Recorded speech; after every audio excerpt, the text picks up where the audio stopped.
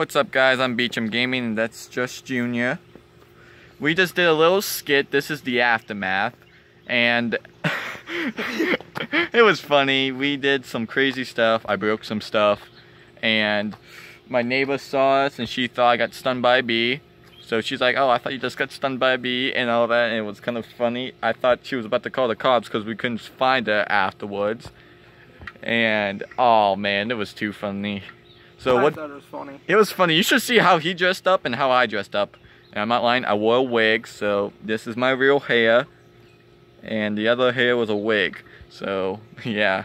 And I don't normally wear boots. Yeah, he doesn't wear boots, but he looks great in them. About to actually start wearing them more. Yep.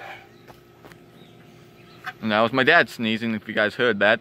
But yeah, that was. This is the aftermath and all that. So I'm probably gonna put this on my main channel and then I'm gonna put the video of us doing the skit on uh, team channel, Team 1 Dragon Slayers, so go check that out.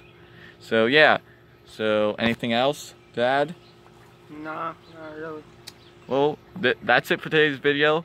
Subscribe to Beachem Gaming, to Just, Just Juna, and we have another friend who's not here at the moment, but we got two friends, Pro Beast Boy and another one who calls himself Vampiric 35.